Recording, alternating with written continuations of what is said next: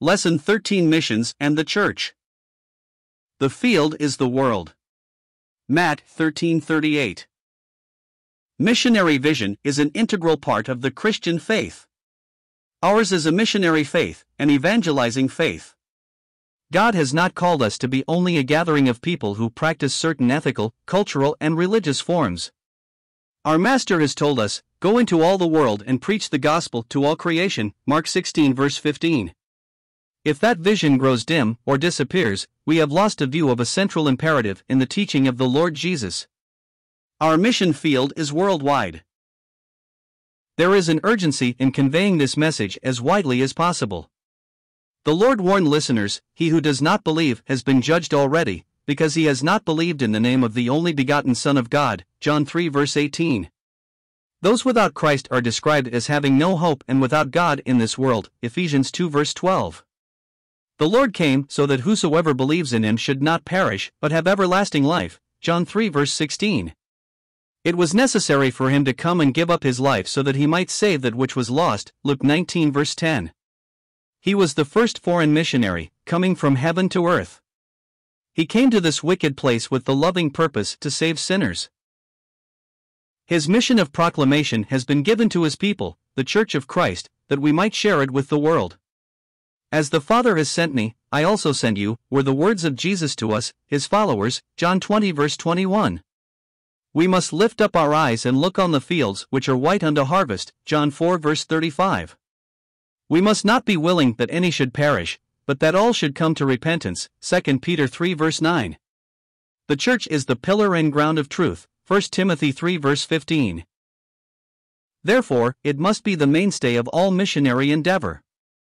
It must provide the vision, the laborers, the financial means, the prayers, and the continuing energy to sustain missionary thrust into every place on earth. The Church has not been authorized by God to delegate this task to other organizations. The Church, with all its local expressions, is founded and commissioned by God as His operational representative on earth. Our local or national efforts at evangelism are insufficient when there is such a worldwide need. Local churches and missionary work. What do we mean by missions and missionaries? A true missionary is a child of God called to work with another people who are without an accurate knowledge of God's salvation, based upon His Word. Missions, especially foreign missions, is the field of endeavor devoted to the task of reaching people in gospel deficient areas outside our own community or nation. If the command of Christ to proclaim the gospel to all nations is still valid, then the issue becomes one of obeying the Lord. If the church as the people of God is his representative on earth, then the command applies to us. This leaves us with the question what shall be the extent of the involvement of my local church in obeying the Lord? The history of missions demonstrates that local churches have always been the basis for spreading the gospel. It began in the book of Acts. Several writers have called attention to the church in Antioch, a city in Syria, as a model of early missionary vision. Acts 11 verses 19 to 30, 13 1 4. Paul and Barnabas labored extensively here in teaching and training the many converts. Antioch was a growing and spiritual church, a prerequisite for making an effective contribution to missions. The church had developed a number of good teachers the Spirit of God moved to have Paul and Barnabas set apart for foreign missionary activity. Acts 13 verses 1 to 4. The church commended them to this ministry, Acts 14 verse 26. There was no intermediary organization involved in the process. No pledges were solicited for their support, and no guarantees were given. They depended on God, and they had the support of the believers there. During the first two years, this energetic missionary team established at least for local churches Antioch in Pisidia, Lystra, Iconium, and Derbe, plus the whole island of Cyprus. They reported back to their home church as people to whom they were accountable, Acts 14 verse 27. No parachurch body, separate organization, intervened in this line of responsibility. Missionary activity, flowing out from the first local churches, continued for centuries. Unfortunately, there was increasing administrative control of the Christian church by centralized overseers working in administrative centers. This did not always help the cause of genuine missionary work. Partially as a result of such church organizations, the thrust of foreign missions grew weaker. Revival came many centuries later when small groups, often persecuted by large official churches, renewed the biblical vision of reaching out to those without Christ in remote lands. An example of this was the community at Herrnhut, Germany, under the leadership of Zinzendorf. This small group dispatched missionaries to distant places worldwide out of their deep spiritual concern for the lost. Herrnhut's influence persisted for centuries. It is amazing that so much was done by this small community. During the 19th century, there was a great missionary revival rooted in a general spiritual awakening in the English speaking world. Such renewals seemed always to generate a concern for the lost, including those in foreign countries.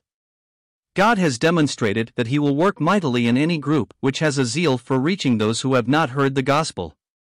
Much missionary endeavor was carried on by so called independent faith missions and separate groups, rather than flowing out from local churches. World need and missionary work. It is comfortable to think that the world is now evangelized and the need for missionaries has now largely passed. If this were so, the Lord would surely have come by now, both to spare the righteous and shut the mouths of the wicked. Matt 2400 hours 14, 2 Peter 3 verses 3 to 9. Instead, he waits for many more of the Christless multitudes of the world to hear the gospel and respond. There are more than 5 billion souls at this present hour on this planet. No more than 200 to 300 million are estimated to be born again believers, although there are over 1 billion professing Christians. Accept either figure, and it would still leave a staggering number to be reached. Wholesale blocks of people in the hundreds of millions are yet to be reached in Muslim countries, Asia, India, Europe, and South America. Some nations do not have a single known believer. Hundreds of linguistic groups have yet to receive even a portion of the Bible in their own language. Sections of Western societies are so secularized or misled by false teaching that they are as ignorant of the Bible as a heathen tribe in some distant place. The most receptive people in any society are the young. About 50% of some population groups are young people, less than 25 years of age.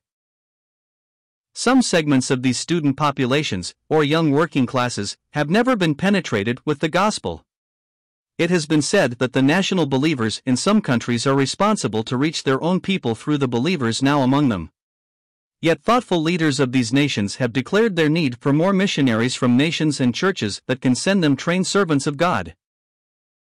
Among the needs on the foreign mission field is the lack of effective leadership training, including practical discipleship, pace setters in evangelism for the apathetic or intimidated, good literature for the literate, records and cassettes for others, fluent Bible translators, and strong workers in student and university centers.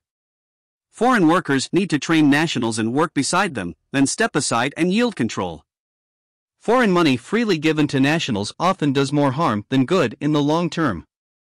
Dependency on money and jealousy of workers supported by liberal foreign money can have detrimental long term effects on the national churches and their leadership. Some have pointed to the frequent rejection of outside missionaries coming into a land. Lately, there have been great difficulties in obtaining visas for foreign entry. Still, there are many ways to infiltrate Christian workers into a country without them being designated as missionaries. Difficulties have not prevented the entrance of Catholic priests or other religious workers into many foreign countries. Commercial and technical people, students, and visitors jam the airlines to go everywhere in today's one world environment. Many countries have opened their doors much wider to entrance by visitors. God uses various methods to reach the peoples of the earth with His gospel. Hindrances to effective missionary work. The problem does not seem to be a lack of opportunity or need, nor has the Lord changed the Great Commission for this day. The real problem may be divided under two headings those in a changing world and those in a weakened church. In the world, there are serious but not insurmountable difficulties. 1. There is a decline in the belief of spiritual and moral absolutes. The difference between what is true and false, or right and wrong, is either denied or not perceived. Relativism rules. This is the view that an ethical or moral truth is simply a matter of what any group or people choose to believe for themselves because truth has no fixed basis.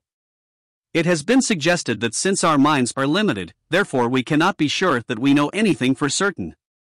So, who can say what is right or wrong in any absolute way? This deadly, human view denies the authority of God and His Word. 2. Allied to the view above is secularism. This view states that God is irrelevant to our worldly, time based living. All that matters in life is living for now in this world. Another companion view is materialism. This idea suggests that a highest good is obtained by possessing goods or things and satisfying physical or psychological desires. A form of this philosophy is communism. A more subtle form of materialism, and possibly more dangerous, is embraced by believers who live to accumulate possessions at the expense of serving the Lord. At the same time, they profess to believe what the Lord Jesus taught. Their lifestyle contradicts their profession of faith. 3. An ever increasing dangerous viewpoint is humanism, including humanistic psychology, seen especially among the educated. In this approach, man is made to be the center for interpreting what is good in life. Humanists do not care for, nor accept, God's plan for their lives. In extreme forms of humanism, man becomes his own God or supreme authority. 4. False religion, in an almost infinite variety of forms, continues to grow. It deceives man in his spiritual search for satisfaction and meaning in life by offering a counterfeit to the truth. False prophets and false teachers create elaborate systems of deceit to entrap millions. These religions generate zealous missionaries of their own who are often more active in some places than the advocates of the truth. 5. There is a tremendous tide of propaganda directed against the Christian faith and its representatives all over the world. It is growing constantly, especially within the medium of films and television shows.